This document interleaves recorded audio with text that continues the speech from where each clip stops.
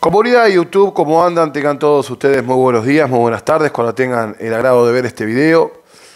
Yo entiendo que a veces el mundo super clásico, antes, durante y después, se lleva todo puesto, pero no puedo dejar de hacer esta reacción hablando del presente de Racing, hablando del presente de la academia, que realmente no viene nada bien, que de los últimos 18 puntos en juego por el campeonato local solamente sacó un punto, que fue contra Independiente, que diría que fue el empate que más dolió en los últimos tiempos porque quería Racing, el hincha, matar deportivamente a Independiente. Y Fernando Gago aquel día no planteó bien el partido, que tuvimos la chance de relatarlo y comentarlo en el canal. Y les voy a ser sincero, yo el partido de ayer no lo vi, no vengo aquí a hacer una reacción de lo que hizo Gago. Sé que tiene muchos jugadores dados de baja, creo que en total son 10. Me pueden ayudar en los comentarios. Eh, jugadores que en sí tiene dado de baja el entrenador por problemas físicos. Y da la sensación que es un ciclo cumplido. Da la sensación que es un ciclo que se está sosteniendo de más y no sabemos para qué. Algún loco me dirá, Racing tiene chances en la Copa Libertadores de América. Sí, claro eh, no ha perdido, empató con Flamengo en la cancha de Racing, con 10 jugadores casi todo el partido, los dos primeros los ganó.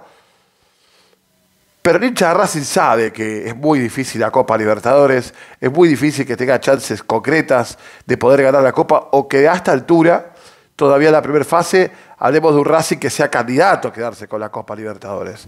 Después puede pasar cualquier cosa porque esto es fútbol.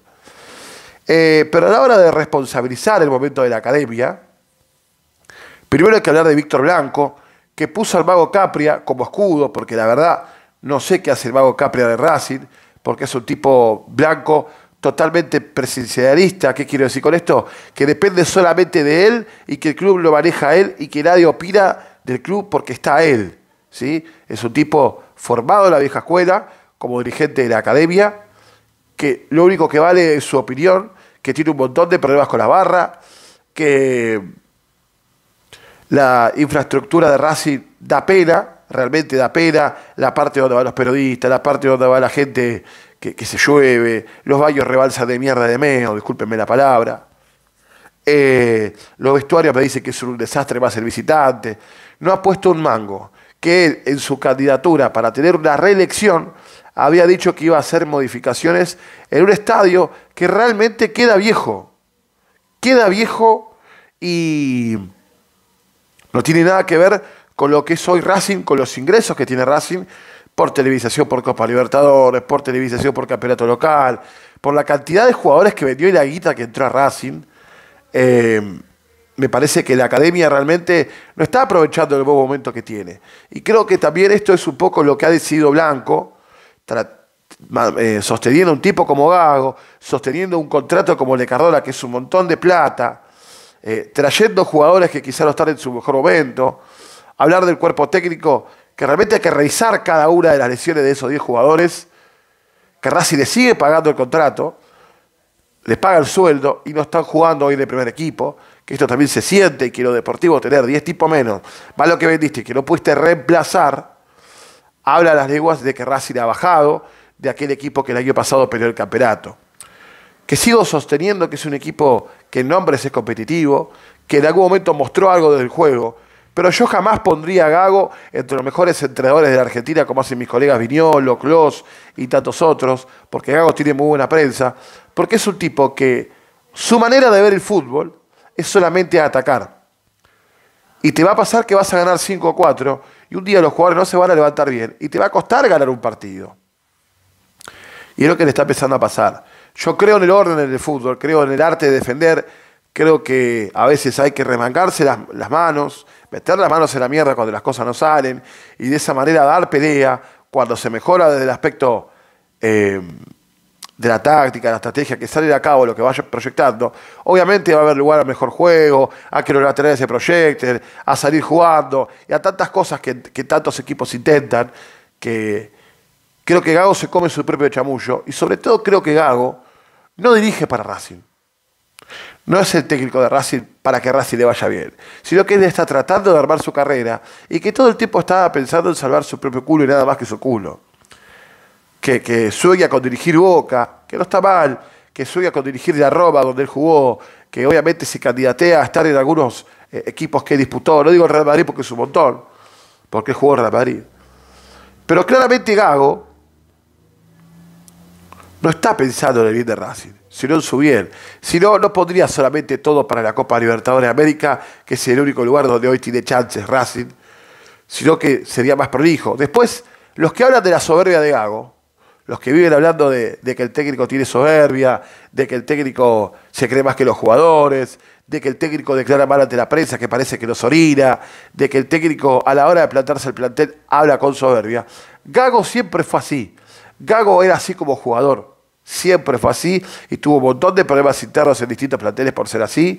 Eh, carece de humildad, carece, tiene un egocentrismo muy grande, lo sigue sosteniendo como entrenador que se preocupa más en la pincha que se va a poner para salir a la cancha que, en sí, en cómo potenciar a un jugador, que desde lo anímico no le está llegando a este grupo de jugadores hace rato, que esto quiero hablar y ser sincero, y por lo menos con lo que pienso, no es, no es información, sino es razonar.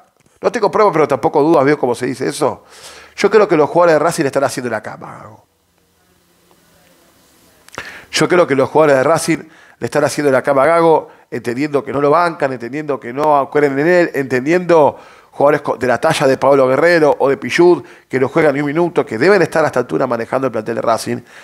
No veo que se maten por Gago. No veo eso que muchos medios ponen, que, dicen que lo encerraron dentro y dijeron, hermano, por vos matamos, quédate, que esto lo damos vuelta, lo damos vuelta porque son nuestro líder. No lo veo.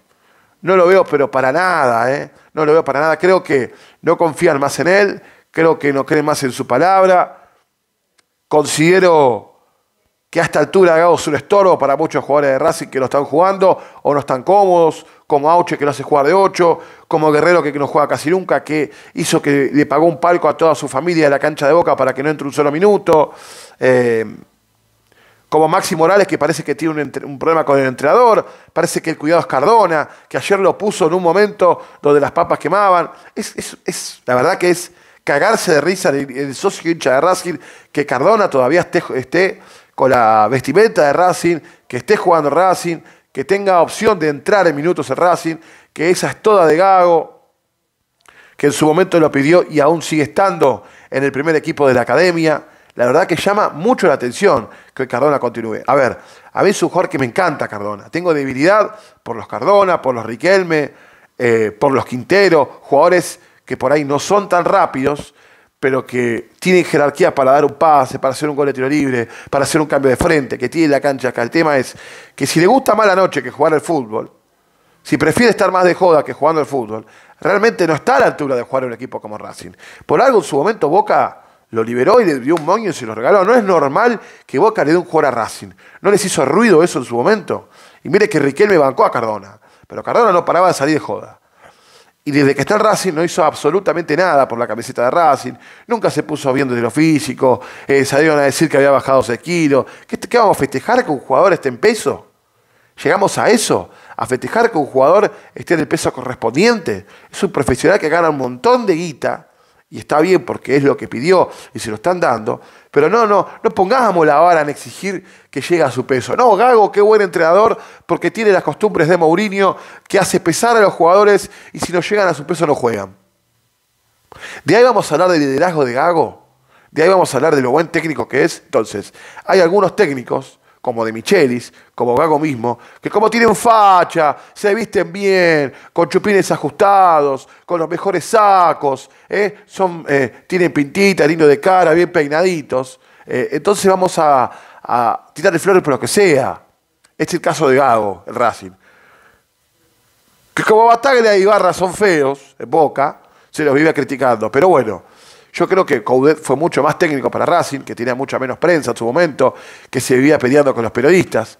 Y creo que este Gago no ha, sido todo malo, ha tenido buenos momentos, pero creo que ya no le llega el jugador, el hincha no lo quiere más. Hay jugadores que los ha quemado totalmente, no pone los pibes de las inferiores, inventa puestos, inventa posiciones, pone siempre los mismos. Los refuerzos que trajo como Guerrero y el mismo eh, Máximo Horario los pone. Entonces, no entiendo bien lo que quiere hacer Gago Racing. Y yo considero que su hora ha llegado, que ha sido una gran experiencia con él, que le va a traer seguramente la oportunidad de dirigir o en Europa o otro equipo en la Argentina, pero que ya Racing tiene el tiempo cumplido. Y considero que ya no está para ser el, entrenador del, equipo. Que lo va a seguir intentando por lo que habló en conferencia de prensa, que entiende que es juzgado, pero que el ayer se manifestó y el cilindro de Avellaneda fue un cabildo abierto. De, de 18 puntos en juego, solamente sacó uno. Es un montón. Es un montón con el clásico no dando una buena imagen, perdiendo con Boca otro clásico, eh, con Flamengo regalando gran parte del partido porque le echaron a un jugador. Yo creo que todavía está a tiempo Racing. Pero que se tiene que poner los pantalones largos es Víctor Blanco, que su gestión es mala, que Capria está pintado, que entiendo que la gente pide a Milito, que interpreto que se va a postular a las elecciones en Racing y es posible que Milito sea el nuevo presidente de la academia si él se lo dispone. Les agradezco por estar, no olviden de suscribirse al canal, de acompañarme en este proyecto autogestionado que es mi propio canal.